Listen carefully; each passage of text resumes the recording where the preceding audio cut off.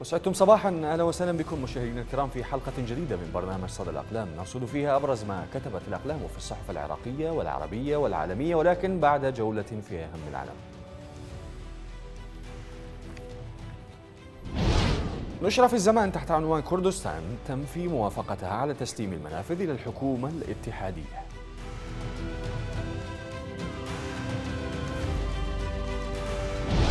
في موقع الهينة يونامي تؤكد مقتل وإصابة 211 مدنيا خلال الشهر المنصرم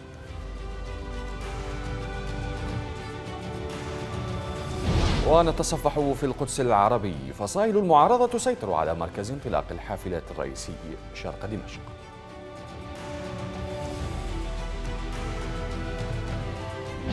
ونتصفح في العرب اللندنية الكنيست يصادق على قانون يحظر التفاوض حول القدس المحتلة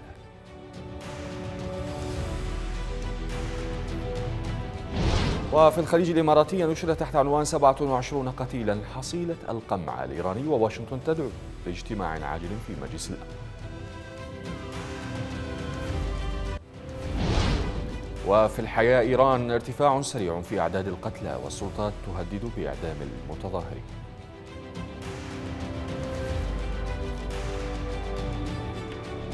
وأخيرا وليس اخرا في موقع الخليج أونلاين ترامب ساخرا من جونغ أون لديه زر نووي أكبر وأقوى من زرك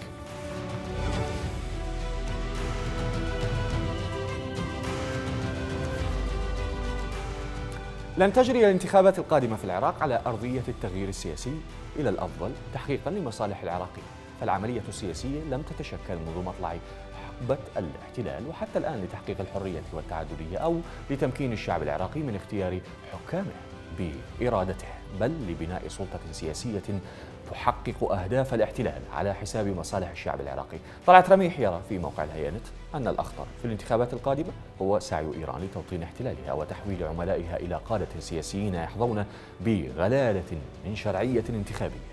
هذا هو المختلف عن الانتخابات السابقة.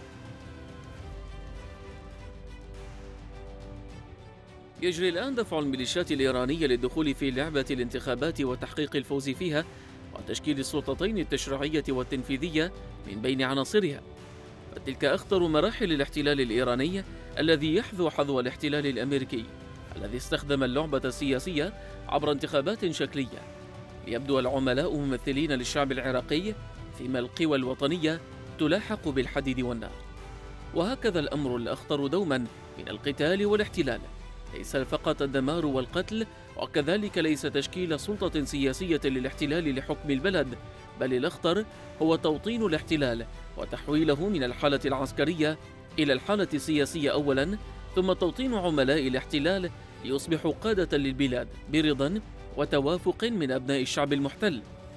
وهنا يأتي الملمح الرئيسي فيما يجري بشأن الانتخابات العراقية من موافقة لجنة الانتخابات أو انغماسها في تحقيق المخطط الإيراني. وتمكين تلك العناصر الأشد وحشية ليس فقط من السيطرة على العملية السياسية وعسكرتها بل كذلك وهو الأخطر توطين تلك العناصر وجعلها في وضع طبيعي داخل أجهزة الدولة ليصبح الاحتلال جزءا من نسيج العملية السياسية والسلطة التنفيذية الحاكمة في البلاد.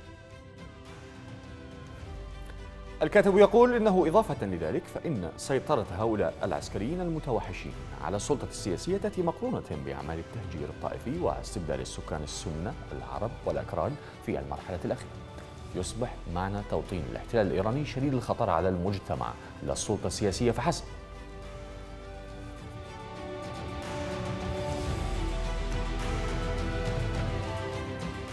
ونحن نكتب أسماء المدن الإيرانية المنتفضة ضد النظام الملالي كأنما نردد في ضمائرنا أسماء مدن العراق على أمل الالتحاق بتلك الجموع من الشعوب التي عانت من القمع والتدليس باسم الدين أو قدست المراجع السياسية ونفاقها لأنظمة الحكم الحديثة ثورة الجياع في إيران أين صداها في العراق؟ حامد الجيلاني يتساءل في صحيفة العرب اللندنية لماذا لا يقتدي العراقيون بانتفاضة الشعب الإيراني كما يقتدي بالمقابل حكام العراق بنظام الحكم المتخلف في إيران.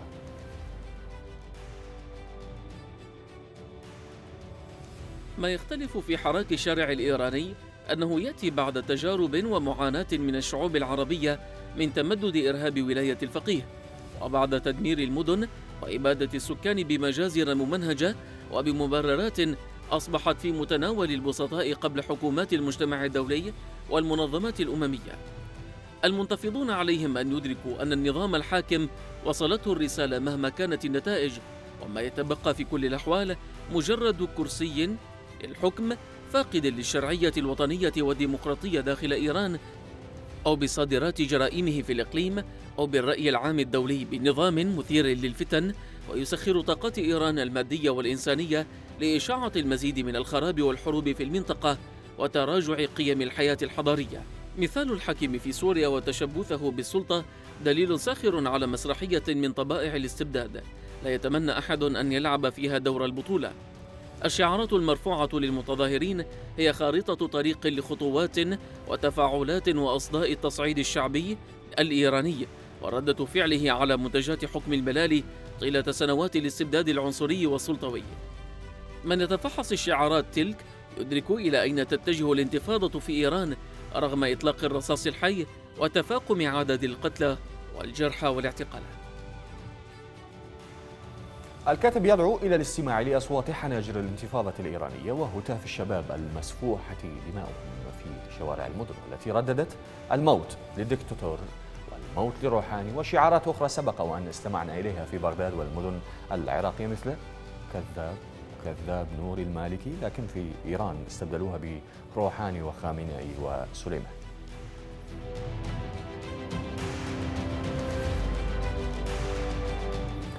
يشغل الراصدين لشؤون المنطقة ما جرى ويجري داخل إيران في غضون الأيام القليلة الماضية التي يراها الكثير منهم أنها أكثر من فورة طارئة أو مسيرات عابرة ربما لها من مقدمات وتمهيد يمكن أن يعلم منهما مسار السيناريوهات المتوقعة. جهاد بشير يقول في جريدة البصار إن ما يجري في إيران ليس وليد لحظة أو رد فعل بقدر ما هو تراكم لقضايا لم يعد لصمامها شيء من الصمود يحول دون انفجارها أو انفجاره. بعدما امتلأت جعبة الإيرانيين نقما على نظام بلادهم ولم يعد لصبرهم مساحة تحتمل احتواء المزيد مما تلقي عليهم حكومتهم من تبعات اقتصادية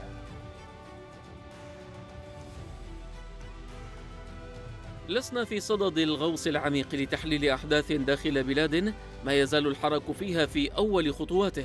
رغم أن بدايته وسرعة التصعيد بالصدام ربما تشيران إلى إمكانية تطوره ليكون ثورة حقيقية ذات أبعاد استراتيجية. قدر ما نريد أن نرصد مدى انعكاس تطوراتها على العراق الذي تعده طهران خط المواجهة الأول. في بداية الأمر يلحظ الراصد أمرا لافتا يستنبطه من الشعارات التي رفعت في التظاهرات يعطي انطباعا بضرورة التأني في التوصيف ومحاولة التحقق من هدف الحراك. فإن تلك الشعارات انطلقت من دوافع إصلاحية تتعلق بتحسين واقع الحال الاقتصادي في البلاد ثم أخذت طابعا سياسيا بشقين أحدهما الانتقاد المباشر لسياسات النظام على مختلف الأصعدة والآخر المطالبة بالكف عن التدخل بشؤون سوريا ولبنان وغزة. فقط من باب أن الأموال التي تصرفها طهران هناك أضرت اقتصاديا ومعاشيا بالشعب الإيراني الذي هو أولى بها وهو كلام صحيح ومطالبة مشروعة جدا لكنها منقوصة الحقيقة. إن عدم ذكر العراق وعدم ظهور قيادة للحراك تتحكم في سيره وتشرح مشروعه يدعم أصحاب النظرية القائلة بأنه من الصواب عدم إطلاق وصف مستعجل على المشهد الإيراني. الكاتب يشير إلى أن على الحراك الإيراني أن ينظر جيدا إلى ما هو أبعد من المحيط الداخلي وينتقل من مجرد احتجاجات تطلب إصلاحات إلى مشروع إقليمي يوازن مطالبه قياسا إلى حجم نفوذ حكومة بلاده في المنطقة ولا سيما في العراق. لأن الاحتلال الإيراني للعراق إذا تعرض لتصدع من الداخل بموازاة ما قد يواجهه في العراق من مقاومة ثمت كثير منها البوادر تشير إليها فإن المنطقة كلها ستكون على أبواب الخلاص من مشروع توسعي هدفه الاستحواذ على كل ما فيها دينيا واقتصاديا وسياسيا وحتى تاريخيا.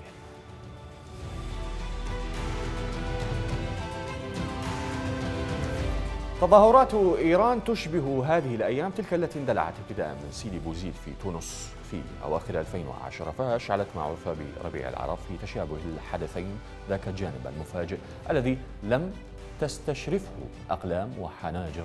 أعتى خبراء الشأن الإيراني. محمد قواص يقول في صحيفة الحياة إن النظام الإيراني لا يختلف في تفسيره لحراك الناس عن تفسير أنظمة المنطقة لحراك الناس في مدنها وما يحصل في عرف الحاكم في طهران هو أعمال عبث وفوضى يرتكبها خارجون عن القانون وأن من يقف خلف تلك الهبة هم الولايات المتحدة وإسرائيل وبريطانيا. سيكون من الرصانة مراقبة الحراك في إيران دون المغامرة باستشراف مآلاته. فإذا ما كان في خروج الناس إلى الشارع عفوية مربكة فإن في الحدث ما يجعله عابرا وكذلك ما يجعله مفصليا في تاريخ إيران الحديث. المفارقة أن المتظاهرين وضعوا الطبقة السياسية برمتها في سلة واحدة. والمفارقة أيضا أن رد الحرس الثوري ومحيط الولي الفقيه لا يختلف عن ردود صدرت عن وزراء حكومة الرئيس حسن روحاني مما يؤكد وعي الشارع بأن الجميع باتوا في سلة واحدة. وحتى الرموز الإصلاحية بدت تعابير خطابهم العتيق متقادمة لا تتسق مع شعارات المدن الغاضبة. بيد أن تبرم مواطن إيراني عادي في مشهد أو تبريز ضد بلديته أو محافظته أو حكومته أو حتى نظامه يقلق إلى حد الرعب رعية باتت تابعة في صعدة أو البصرة أو دمشق أو ضاحية بيروت. لا منطق تاريخيا بإمكانه أن يجمع مصير شيعة المنطقة بمصير الحكم في طهران. ومع ذلك فهذه حقيقة باتت تتجاوز أنصار الأحزاب والتيارات التابعة لطهران وتنسحب على البيئات الحاضنة في رد فعلها القلق على الحدث الحالي البعيد.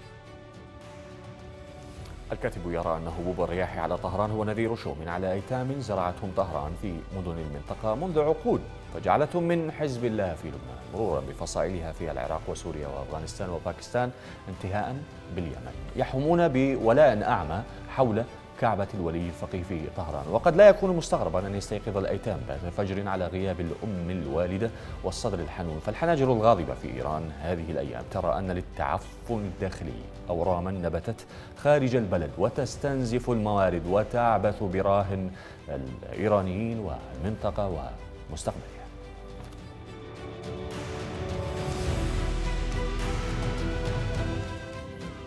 أما ديفيد إغناتيوس فيقول في صحيفة واشنطن بوست الأمريكي أن الثورة الشعبية في إيران قد لا تطيح بالنظام الحاكم ولكنها بالتأكيد ستعمق الشرخ والتصدع الداخلي خاصة أنها سلطت الضوء عن من قرب على تكلفة المغامرات الثورية الإيرانية في الشرق الأوسط وكيف أن النظام صار يدفع ثمن هذه المغامرات داخليا.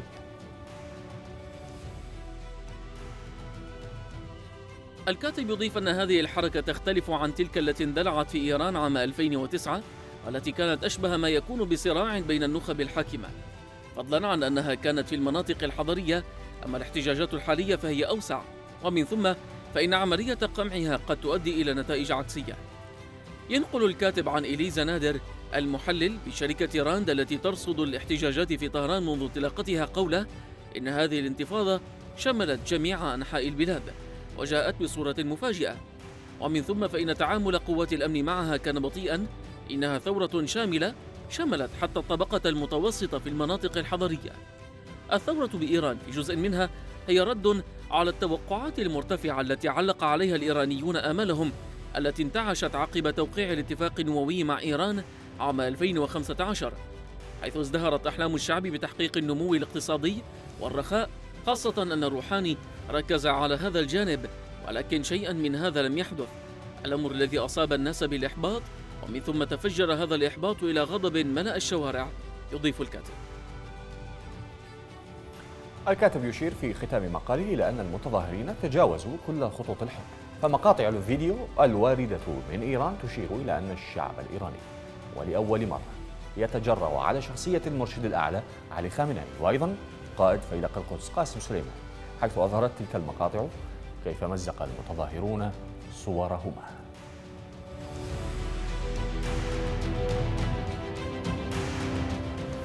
نشرت صحيفة وول ستريت جورنال الأمريكية تقريرا لكل من رجاء عبد الرحيم في بيروت وإيزابيل كولز في بغداد تناقشان فيه توجهات تنظيم الدولة في المرحلة القادمة وتقول الكاتبتان إنه بالرغم من الادعاءات السورية والعراقية بالانتصار على تنظيم الدولة إلا أن آلافا من مقاتلي التنظيم لا يزالون يتحصنون في كلا البلدين وقاموا بهجمات مؤخرا على أهداف مدنية وعسكرية بحسب التحالف الدولي الذي تقوده أمريكا لمحاربة داعش.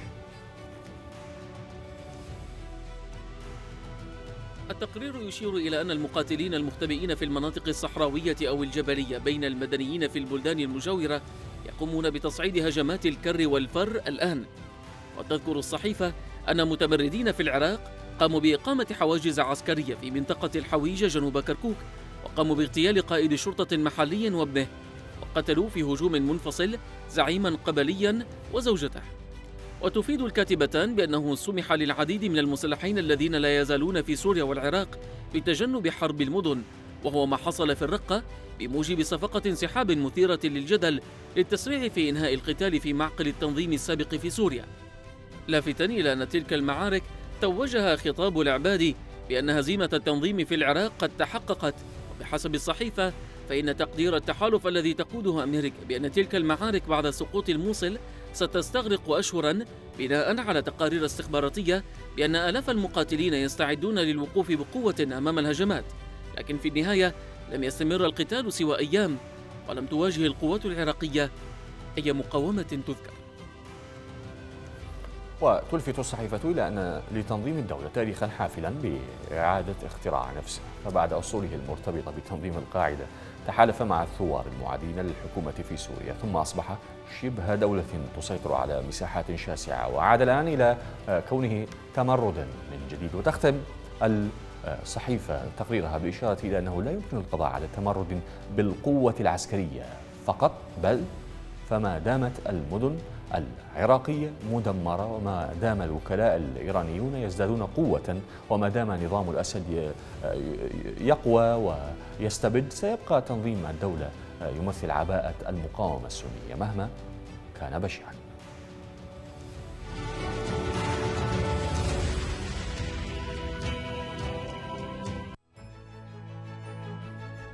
مشاهدي قناة الرافدين الكرام. يمكنكم متابعة بثنا عبر القمر الصناعي سهيسات وعلى التردد 11142 عمودي وعبر القمر الصناعي نايسات على التردد 1283 أفقي. ولمزيد من المعلومات يرجى التواصل مع موقع القناة الإلكتروني عبر الإنترنت.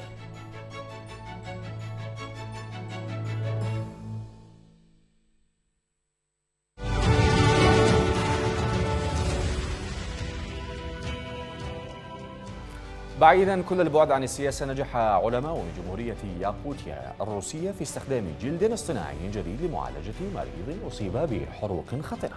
ونقل صحيفة الخليج الإماراتي عن إيفان ترويفا طبيب في مركز ياقوتيا الحكومي الروسي لمعالجة الحروق قوله إن تقنية الاعتماد على الجلد الاصطناعي لمعالجة الحروق وترميم الجروح لا تعتبر جديدة. لكن الأمر المميز في عمليتنا الأخيرة هو أننا استطعنا تطوير تقنية لصنع جلد اصطناعي. وأوضح الطبيب أن التقنية تستخدم أو بالأحرى تستخدم الخلايا الليفية البشرية التي تساعد بشكل عام على ترميم الجلد وزرعها في نسيج بيولوجي يتم تغذيته بمحلول خاص. قاموا بتطويره أيضا بحيث يتحول النسيج إلى شيء يشبه جلد الإنسان ويمكن زراعته. مكان الإصابات الناجمة عن الحروق أو الجروح ويتميز هذا النسيج بأنه يلتحم مع جلد المصاب بسرعة فائقة وكبيرة ليتحول بعد فترة إلى جلد طبيعي بالكامل.